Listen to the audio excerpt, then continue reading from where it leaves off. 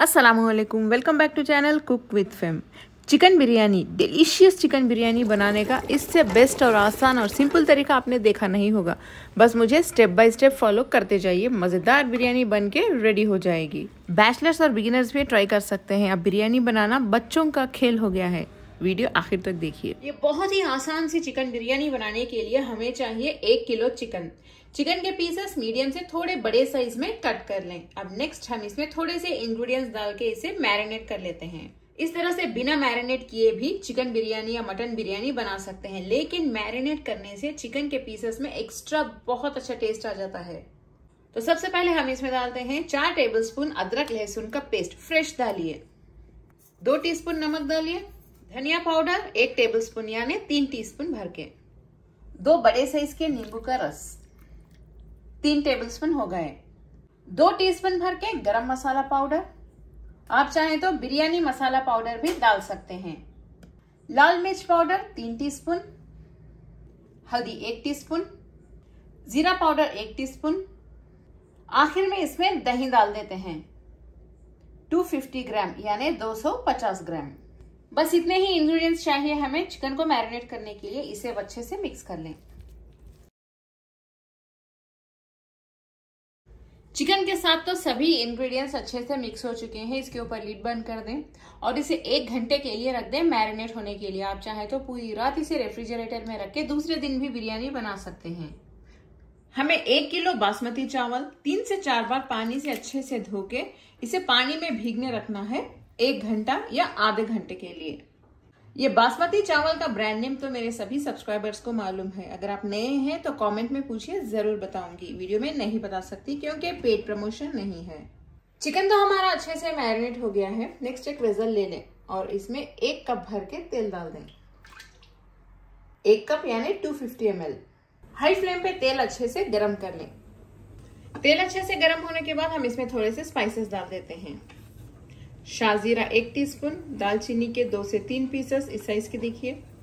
हरी इलायची तीन, चक्रफूल एक या दो, एक जावित्री का पीस चार से पाँच लौंग। तेल गरम हो चुका है स्पाइसेस डाल दें हाई फ्लेम पे इसे 15 से 20 सेकेंड के लिए सॉटे कर लें नेक्स्ट इसमें बारीक कटी हुई प्याज डाल दें चार बड़े साइज़ की, और इसका वज़न 300 ग्राम है। अगर आपके पास जावित्री चक्री फूल ना हो तो कोई प्रॉब्लम नहीं स्किप कर दें। गोल्डन ब्राउन कलर आने तक प्याज फ्राई करते जाइए हाई फ्लेम पे। प्याज का रंग देखिए गोल्डन हो चुका है, इतना काफ़ी है। थोड़ी प्याज निकाल के रख लेते हैं हम। इसमें मैरिनेट किया हुआ चिकन डाल चिकन डालने के बाद हाई फ्लेम पे फिर से चिकन को हमें प्याज के साथ बहुत अच्छे से पकाना है अच्छे कलर के लिए हम इसमें थोड़ी सी कश्मीरी लाल मिर्च पाउडर डाल देते हैं। एक या दो टीस्पून कलर अच्छा आएगा। इसमें तीखापन बहुत कम होता है। मिक्स कर लें। अगर आपके पास ना हो तो स्किप कर दें, कोई प्रॉब्लम नहीं, ज़रूरी नहीं है ये।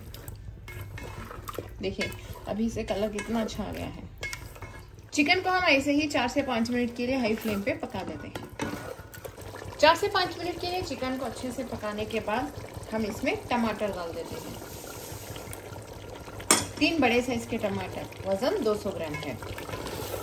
अगर आपको बिरयानी में टमाटर नहीं पसंद तो ना डालें। डालने से टेस्ट और ज़्यादा इन्हेंस हो जाता है। इस तरह से कट करने से टमाटर बहुत जल्दी सॉफ्ट हो जाते हैं।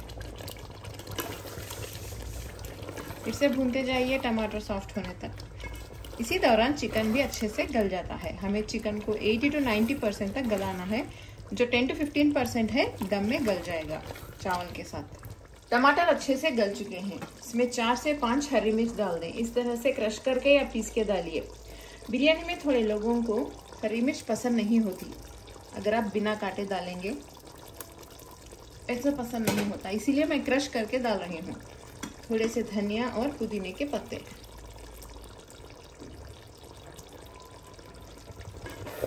मिक्स कर लें, फिर से पकाते जाइए। इसमें पानी डालने की ज़रूरत नहीं है। ये आराम से गल जाएगा दही के पानी में ही। फ्लेम को लो पे रख दें, थोड़ी देर के लिए 10 मिनट के लिए। 10 मिनट हो चुके हैं। चिकन ऑलमोस्ट 80 टू 90 परसेंट गल चुका है। इसे हम थोड़ा सा ड्राई कर लेते हैं। ये जो ऊपर ऑयल आता है इसमें, ये हम थोड़ा सा निकाल लेते हैं एक बाउल में। बाद में हम इसे चावल में डालेंगे। नमक हमने मैरिनेट करते वक्त डाला था, बस थोड़ा डाल रही हूँ। चिकन हमारा अच्छे से, यानी 80 टू 90 परसेंट तक तो गल चुका है। इसके लिए मुझे बस एक 10 से 12 मिनट ही लगे। ये ग्रेवी हम इस तरह से थोड़ी सी रहने देते हैं, तभी चावल में अच्छा टेस्ट आता है अब फ्लेम बंद कर दें अब नेक्स्ट एक वेजल में दो से अढ़ाई लीटर पानी बॉईल होने के लिए रख दें। फ्लेम को हाई पे रखिए। इसमें तीन तेज पत्ता डाल दें। दालचीनी, एक टीस्पून गरम मसाला पाउडर थोड़े से धनिया और पुदीने के पत्ते। नमक छह से सात टीस्पून भर के डालिए। मिक्स कर दें।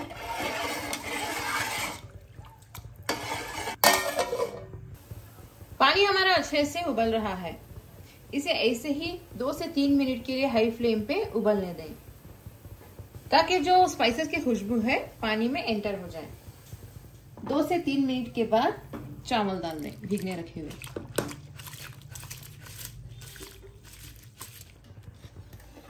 चावल डालने के बाद फिर से एक बार मिक्स कर लें।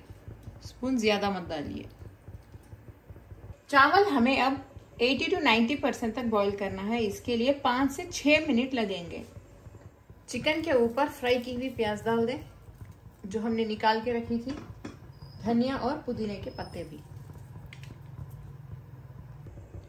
ये तेज पत्ता हम अब निकाल देते हैं। अच्छा नहीं लगता जब ये बिरयानी में खाते वक्त आएगा तो। दालचीनी भी निकाल दें स्पाइसेस की खुशबू तो पानी में आ चुकी है, इसीलिए मैं निकाल रही हूँ। चावल देखिए, अच्छे से बॉईल हो रहे हैं।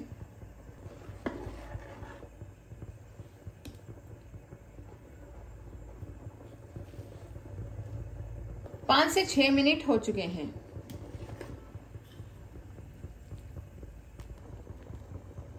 चावल हम अब चिकन में डाल देते हैं। आप चाहें तो चिकन के लेयर्स भी बना सकते हैं, लेकिन मैं इसे बहुत सिंप्लीफाइड वर्जन में बता रही हूँ।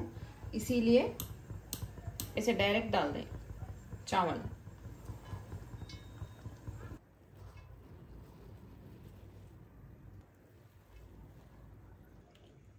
आधा कप दूध में तीन से चार चुटकी येलो फ़ूड कलर मिक्स कर लें इस तरह से।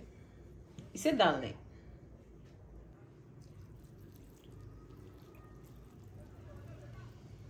या आप ऑरेंज कलर का इस्तेमाल कर सकते हैं, या रेड आपकी मर्ज़ी। तेल डाल दें।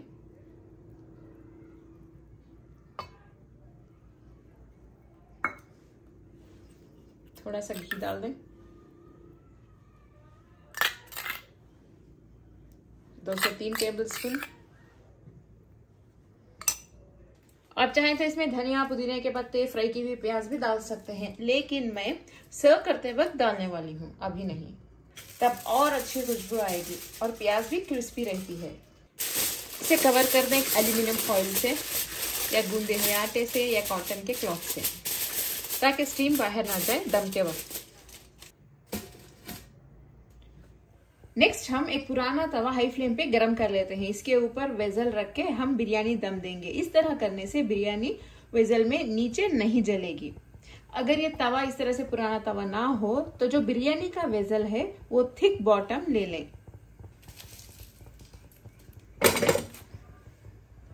तवे के ऊपर वेजल हाई फ्लेम पे दो से तीन मिनट के लिए रखिए। दो से तीन मिनट के बाद फ्लेम को लो पे कर दें 20 मिनट के लिए या 25 मिनट के लिए। बहुत अच्छे से दम हो जाएगी हमारी बिरयानी।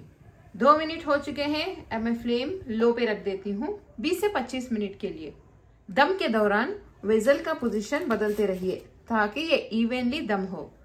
15 से 20 मिनट हो चुके हैं, चलिए चेक कर लेते हैं।